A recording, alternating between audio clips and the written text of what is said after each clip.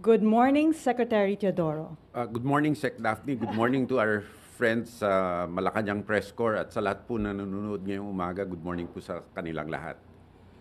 Okay, you may give a few statements. Well, unang-una, nagpapasalamat po uli ako sa ating Pangulo para sa kanyang tiwala sa akin at sa lahat po ng nagbigay ng uh, magagandang mensahe, ng encouragement at uh, sa lahat, sa aking pamilya, nagpapasalamat din ako sa kanilang patuloy na suporta sa akin. At uh, itong trabaho na ito ay hamon na malaki na sana magtulong-tulungan uh, magtulungan po tayo ng masinsinan because uh, uh, national security is everybody's business no not only uh, government's business pero uh, usapin ng lahat po ito. Okay. Would you like to take questions from the, The- oh, press sure, corps? sure, Okay, let's sure. start. Maricel Halili, TV5. Hi sir, magandang umaga po. Magandang Sir, umaga, Maricel. Opo, simulan ko lang po dun sa usapin ng peace talks dahil naglabas po ng pahayag yung National Democratic Front saying na open daw po uli sila na makipag-usap sa pamahalaan kung bukas din yung gobyerno tungkol dito. Ano po yung tugon natin doon? Are we open for another peace talks with NDFP? My personal position is no. Ah, matagal ko ng posisyon yan nung araw pa. Ah, and I think that is the position of ah, the security cluster as of this time, no? Dahil uh, unang-una, bukas loob naman ang, ang ang gobyerno na magbalik sa fold ng law kaya ah, ang lahat ng mga ah, dating ah, kasapi ng CPP, NT, NPA, NDF nandyan na ang OPAPRO na handa na tulungan sila at i-rehabilitate. Malaki ang naitulong ng NTF-LCAC ah, na i-dismantle ang mga natitirang mga tinatawag na front organis- ah, fronts na natitira sa bansa. At ah, sa tingin ko, ang ah, peace talks ay Ah, sa akin sa version ng ating proseso demokratiko, no? Ah, pwede naman natin pag-usapan yung mga issue na yan sa tamang ah, ah, forum. Yan ay ang kongreso. Ah, at ah, magsumanib sila sa legitimate political process. Hindi naman bawal ang CPP eh. Ka, ah, Republic Act 1700 has been repealed long ago. Pero yung indirect at direct support sa armadong pakikibaka, yan ang problema. So there's the, to me there's no such thing eh, as it's an oxymoron ano yung legal front.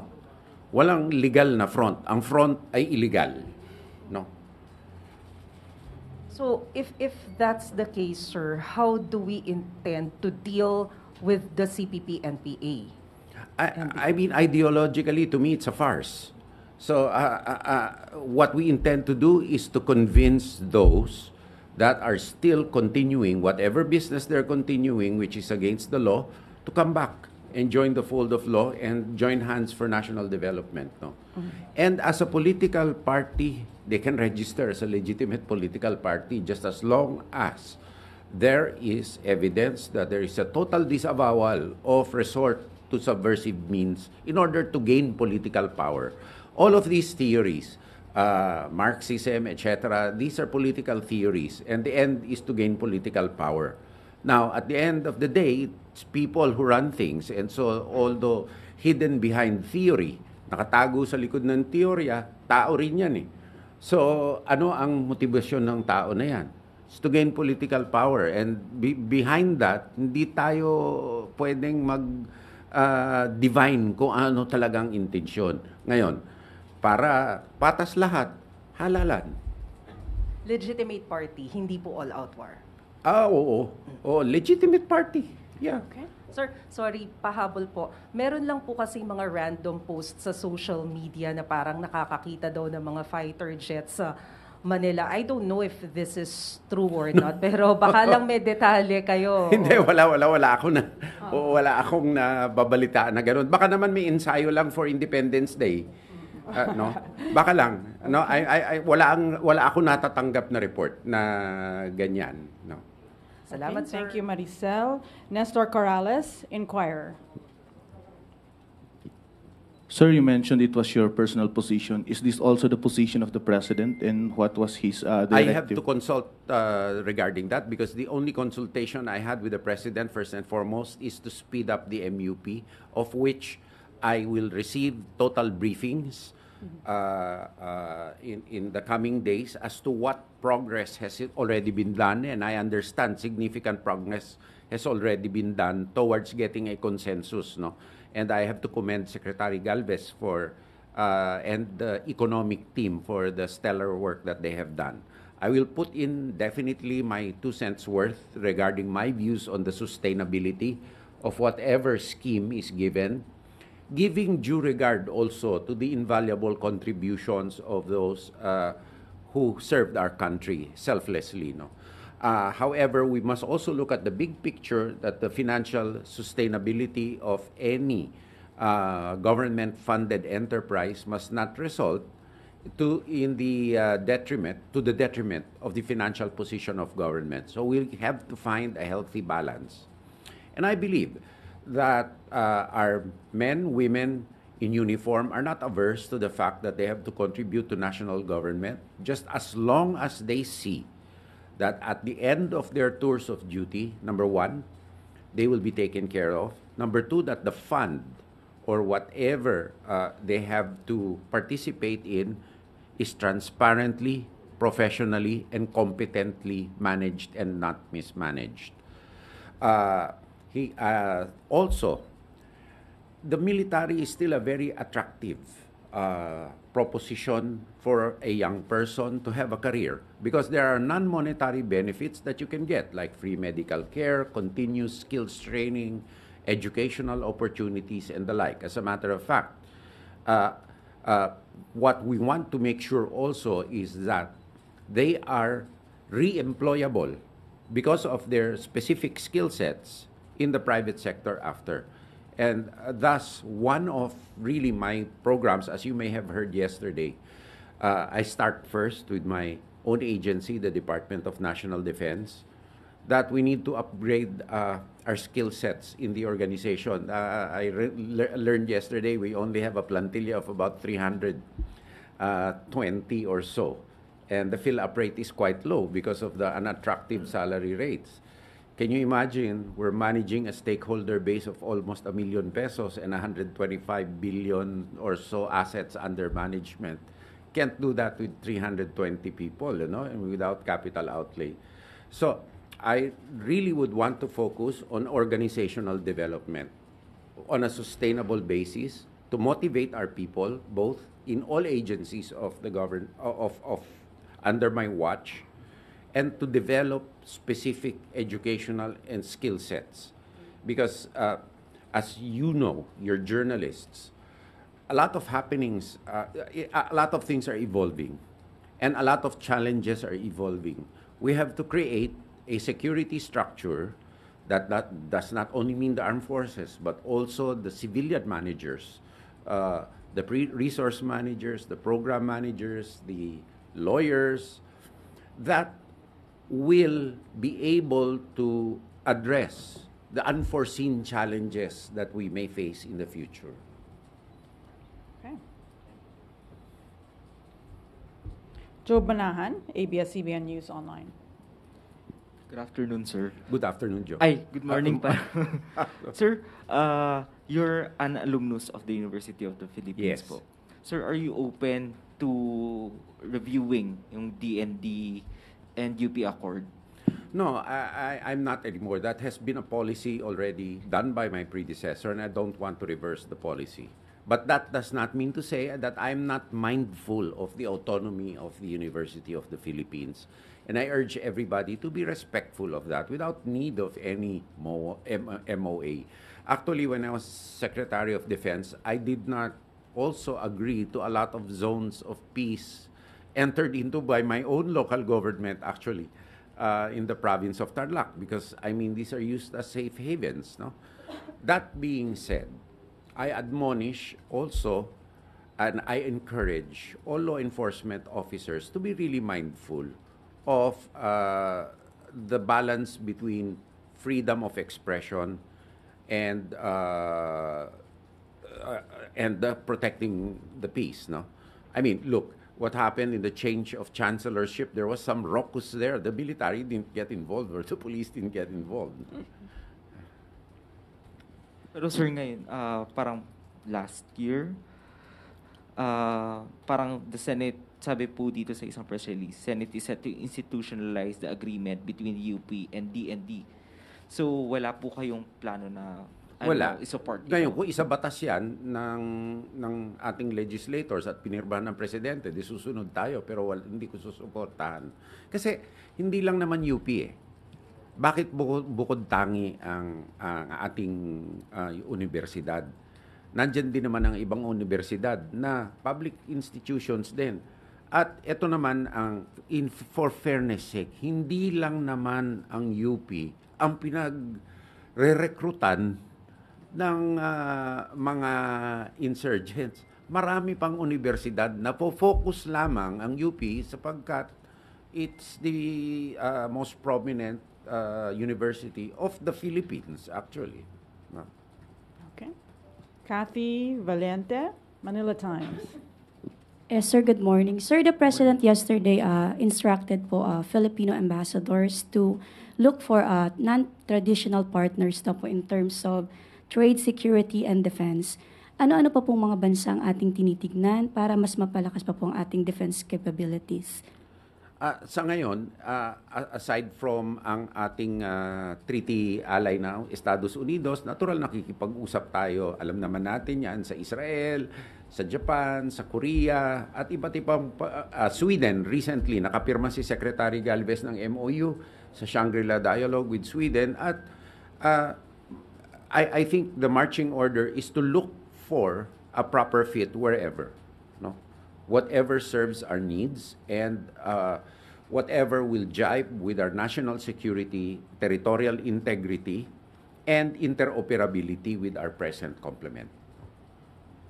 Okay. Ivan Myrina, GMA 7. Secretary, in a previous interview this morning, you said that we should de-escalate tension in the West Philippine Sea, not just with China, but with all other claimant states. How do you see this happening, sir, and how exactly do, do we intend to do that? Ah, hindi de-escalation actually, ah, I, I meant deconfliction. Kasi ang ah, oo, ang ang de-escalation wala sa atin yun, eh. hindi naman tayo aggressor. Bawal tayong maging aggressor under the constitution.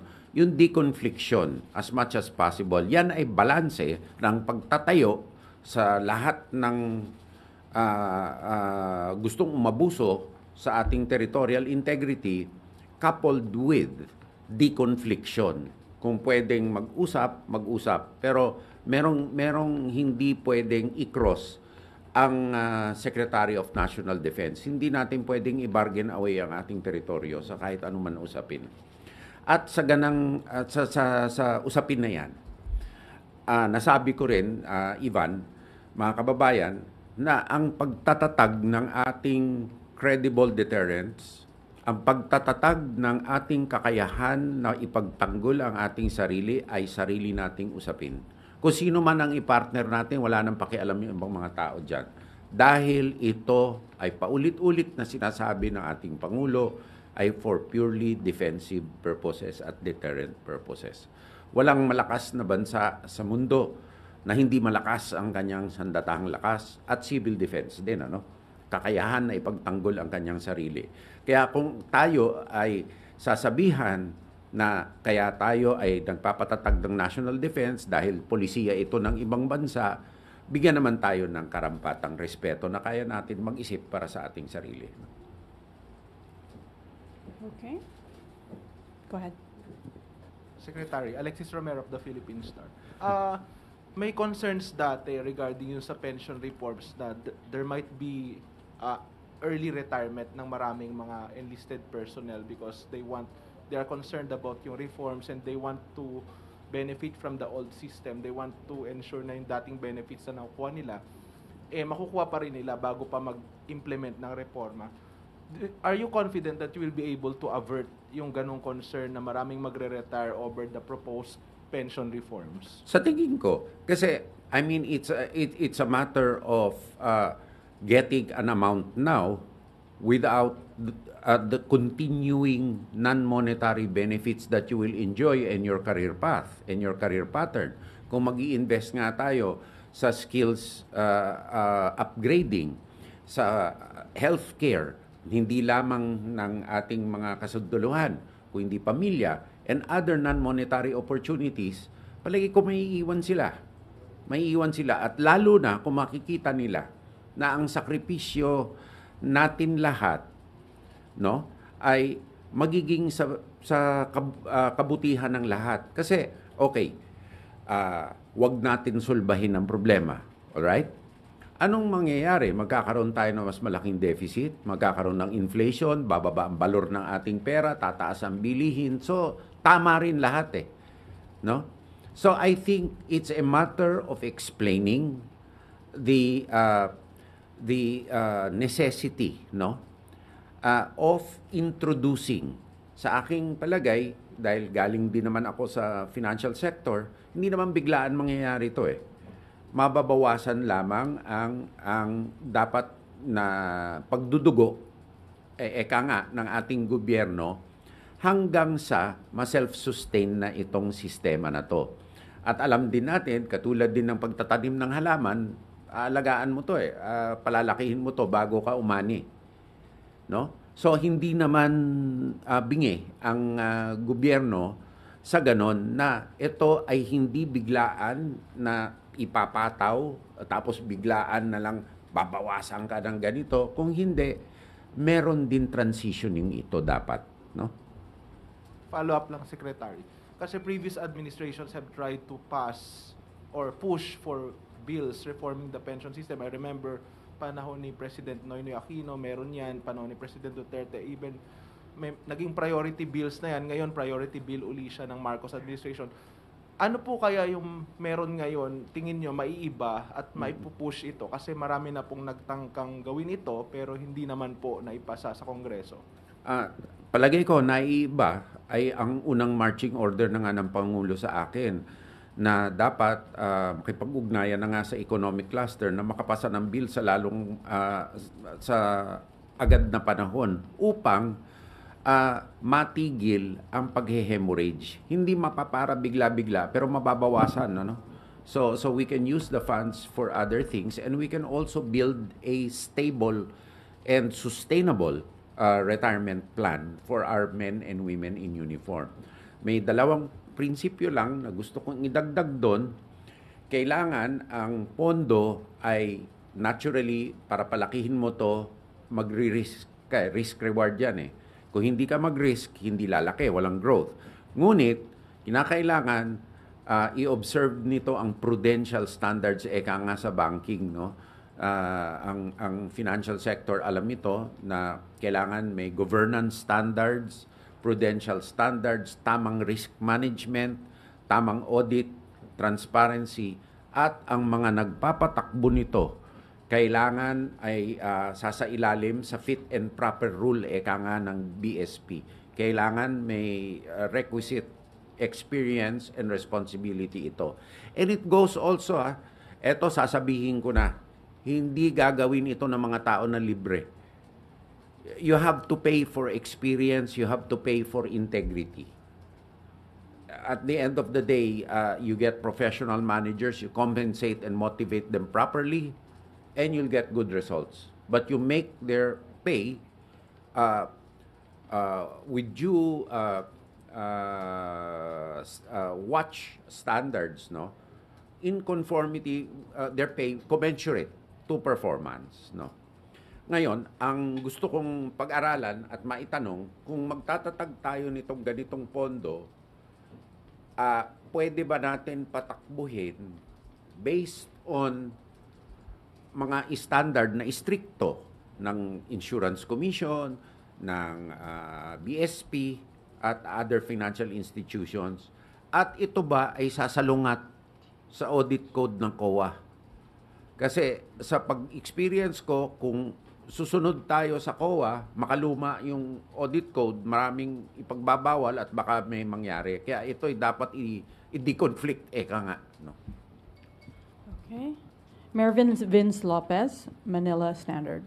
Sir, ibalik ko lang dun sa South China Sea. Um, may mga reports po na recently may mga foreign ships na namamataan sa may Pag-asa Islands. Uh, are you willing, sir, to position more gray ships in our West Philippine Sea boundary, sir? Or I, I can't give you the- an answer now kasi whole of government approach nga yan. Uh, uh, I'll have to consult with the uh, National Security Advisor, uh, with the Department of Foreign Affairs, and uh, we we have to come out with a concerted plan of action uh, uh, with this. Hindi ko masasagot sa sarili kong opinion to kasi napaka importanteng bagay ng national security. Are- Okay, we're good. Before we go, uh, maybe some closing words from you, Secretary Teodoro. You had touched on many uh, issues that were asked by the uh, Malacanang Press Corps here. You were formerly uh, also uh, DND Secretary in another time, and the world has changed so much, as you mentioned. We have climate change directly affecting our country. Maybe you, we can have some final words from you um, in your first press con here in uh, with uh, Malacanang. Thank you very much, uh, Daphne, at sa lahat po ng mga kasama natin dito sa Malacanang Press Corps. Uh, it's nice to see some familiar faces and it's nice to meet new ones. Uh, I think this my essential job too. Ang pinaka-importanting trabaho ko ay i-articulate at i-communicate ang essentials ng national defense sa lingwahe na klaro na maintindihan ng ating mga kababayan. Kasi kailangan po ang isang bansa na mag-uugnayan sa ilalim ng isang mensahe. So nagpapasalamat po ako sa inyong lahat sa pagkakataon na maipahayag ang aking mga isipin tungkol sa mga katanungan po ninyo at ah, ah, nabigyan niyo rin po ako ng pagkakataon na maipaliwanag ang trabaho ng isang Secretary of National Defense, no? Kasi ang ang common conception po ng ating mga kababayan ay militar kaagad. Hindi po ah, presidente, chief of staff. Ang Secretary of National Defense ay advisor ng presidente, alter ego ng presidente at service provider po sa limang ahensya. Kaya dyan po tayo tututok. Maraming Salamat po. salamat po, Secretary Teodoro, and thank you, Malacanang Press Corps. Good afternoon.